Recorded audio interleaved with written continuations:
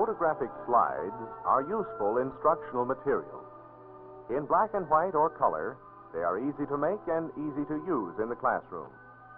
Slides can be made student activities, microscopic objects, pictorial material found in magazines or books, scenic or historic spots, and local points of interest. Let's see how a teacher made this slide of a spillway to help her visualize a unit on the community's water supply. For outdoor colored pictures, a daylight type film is used. With each box, there is a guide that shows the correct exposure settings for almost the shutter speed and lens opening are read directly from the guide.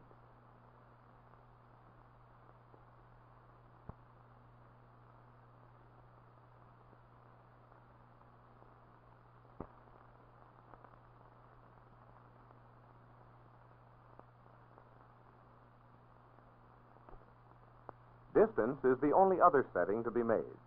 The teacher could estimate the distance or use a tape measure, but her camera has a rangefinder to make focusing easier.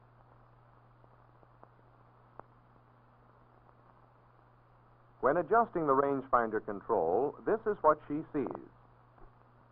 One of the two images moves. When it coincides with the other, the lens is properly focused. Then she is ready to make an exposure.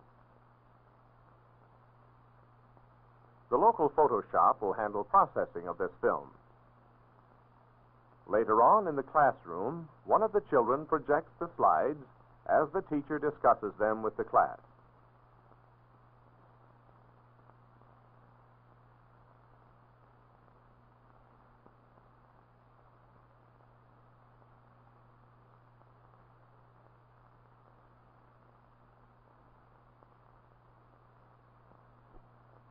Pictures like this can be taken in normal room light by using fast films.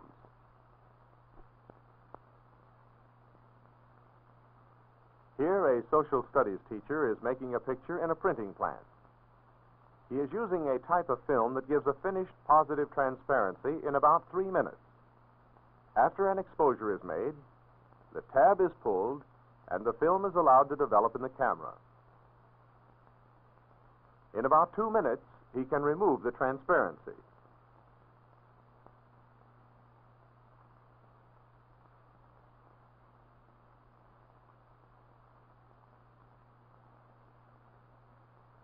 It is complete except for hardening the emulsion, which is accomplished by dipping the transparency in a chemical hardening solution.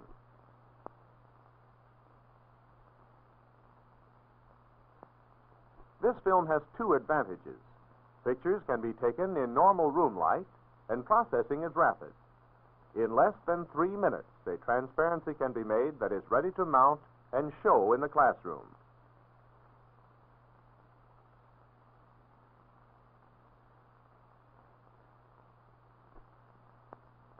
A plastic mount like this is practical because it is unbreakable, and the special shape eliminates the possibility of projecting the picture upside down.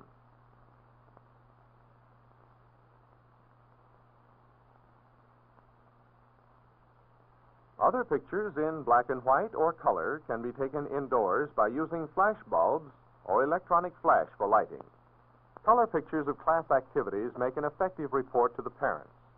For this, you can use a 35 millimeter camera with an inexpensive flash attachment. A plastic cover over the reflector serves as a protection in case the bulb should break. To find the camera settings, select the guide number for the film and bulb you are using. At 150th of a second, the guide number is 110. To find the proper lens setting, divide the guide number by the distance in feet. For a distance of 10 feet, the result would be 11. So the lens opening is set on 11.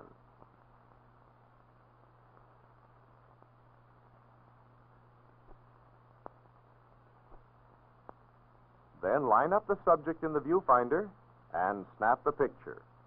Another slide for your collection. A pictorial record of class activities is a good way to show pupils' accomplishments.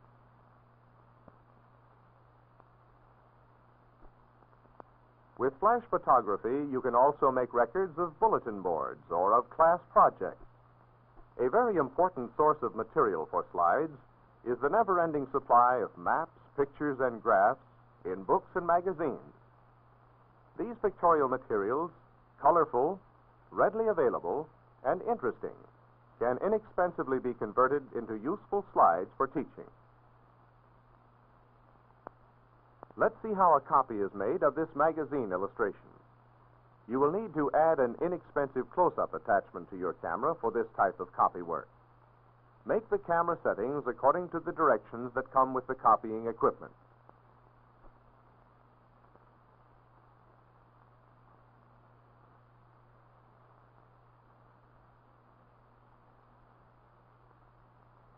A supplementary lens over the regular lens acts as a simple magnifying glass and permits you to make a close-up of the subject.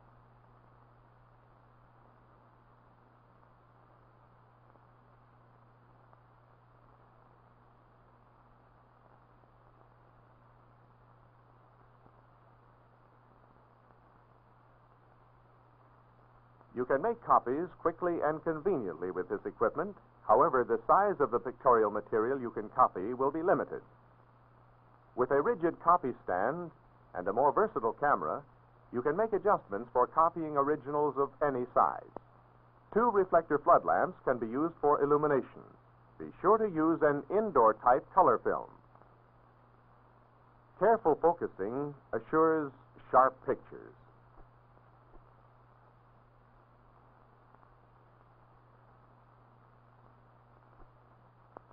An exposure meter, used as recommended for copying, will help you get consistently good exposures. You can also use a photo data guide to give you the proper exposure settings. Similar guides will help you determine the correct lens setting when making extreme close-ups.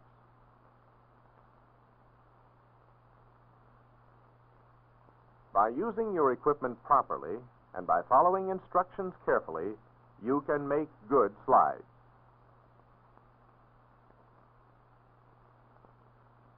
If you need a transparency in a hurry, copies can be made in a matter of minutes by using the process that makes a positive transparency in the camera.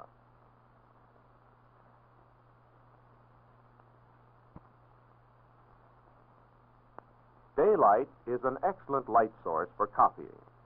If you're making colored copies, be sure to use daylight type film. A tripod provides a steady support for the camera while you make the exposure. To protect slides that are used frequently, bind them between two pieces of glass. A slide binding tape holds the glass, picture, and mask together. You can also use various types of commercial mounts that are available from your photo dealer.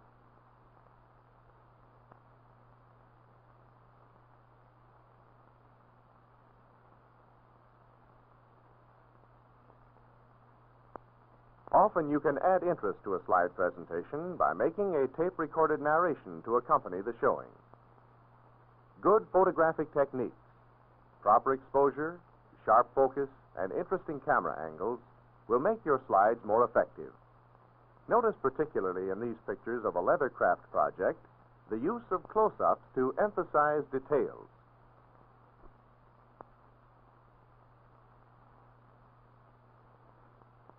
A good presentation of your slides is important. Be sure the room is adequately darkened, the projector properly focused, and the slides changed smoothly. There are many kinds of good projectors you could use. Once you start a collection of slides for instructional purposes, you will discover new and varied uses for your camera. Whether you use your camera to make pictures through a microscope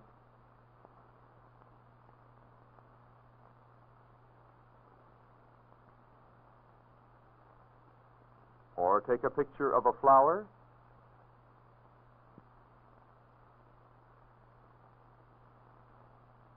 Or make copies outdoors. You will enjoy making and using slides. Every subject matter area offers a wide range of possibilities, and you will find many uses for them in your classroom work.